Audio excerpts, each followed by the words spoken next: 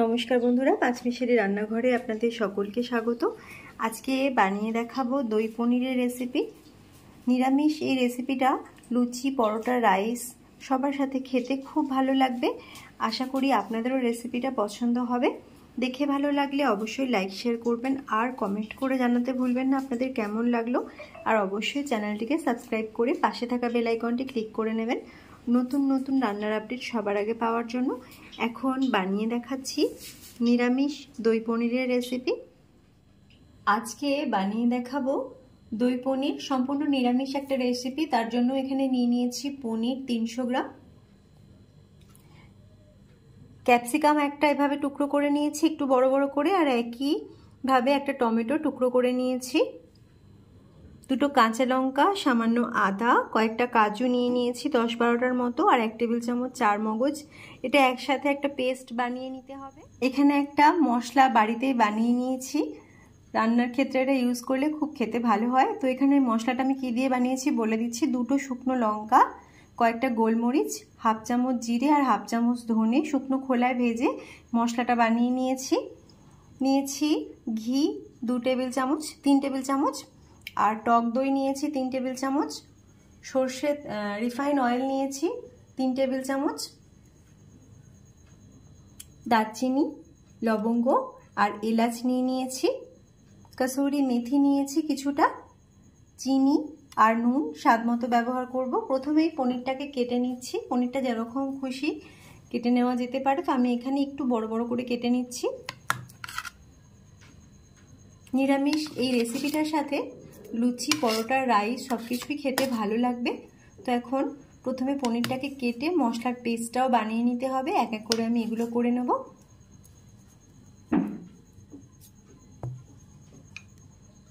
প্রথমেই কড়াইয়ের মধ্যে দিয়ে দিচ্ছি রিফাইন অয়েল। পনিরটাকে একটু ভেজে নিতে হবে। তেলটা গরম হতে দিচ্ছি। এখন তেল গরম হয়ে গেছে। এবার পনিরের টুকরোগুলো দিয়ে একটু ভেজে নিতে হবে। সবকটা পনিরের টুকরো দিয়ে দিচ্ছি।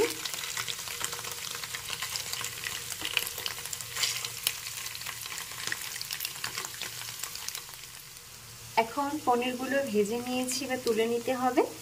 এখানে খুব বেশি লাল লাল করে ভাজিনি, হালকা করে এপাশ ওপাশ ভালো করে ভেজে নিয়েছি। এখন তুলে নিচ্ছি পনিরের টুকরোগুলো। এখন ফোড়নটা দিয়ে দিচ্ছি। এলাচ, দারচিনি আর লবঙ্গ ফোড়নে ভালো করে একটু ভেজে নিচ্ছি। ফোড়নের ভাজা ভাজা গন্ধ আসা পর্যন্ত একটু নেড়ে চেড়ে নিতে হবে। আর আমি এখানে মশলার পেস্টটা বানিয়ে নিয়েছি।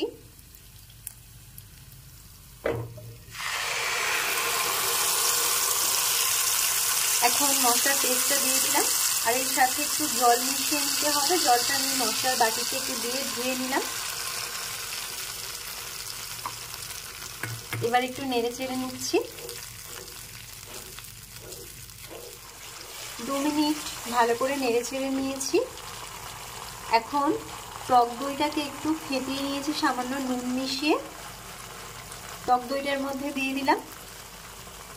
দইয়ের বাটিতে একটু সামান্য জল দিয়ে বাটিটা ধুয়ে দিয়ে দিচ্ছি। এবার ভালো করে নেড়ে চেড়ে মিশিয়ে নিচ্ছি।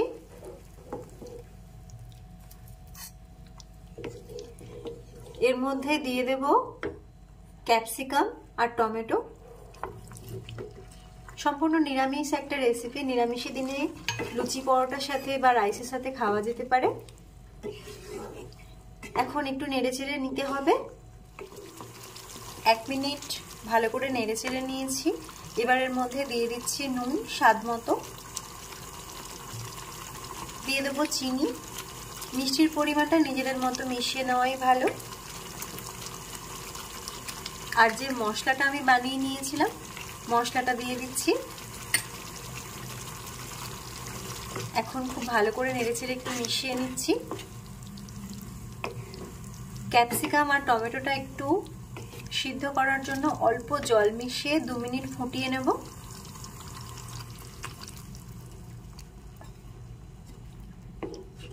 এখন দু মিনিট ফুটতে দিচ্ছি। দু মিনিট ফুটিয়ে নিয়েছি। টমেটো আর ক্যাপসিকামটা সিদ্ধ হয়ে যাওয়ার জন্য এবার এর মধ্যে দিয়ে দিচ্ছি পনিরটা।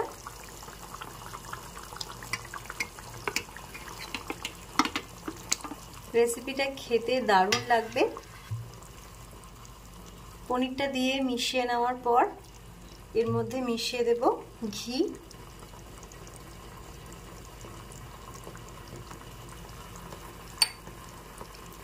আর দিয়ে দিচ্ছি কাসৌরি মেথি। এভাবে একটু হাতে করে গুঁড়ো করে নিচ্ছি।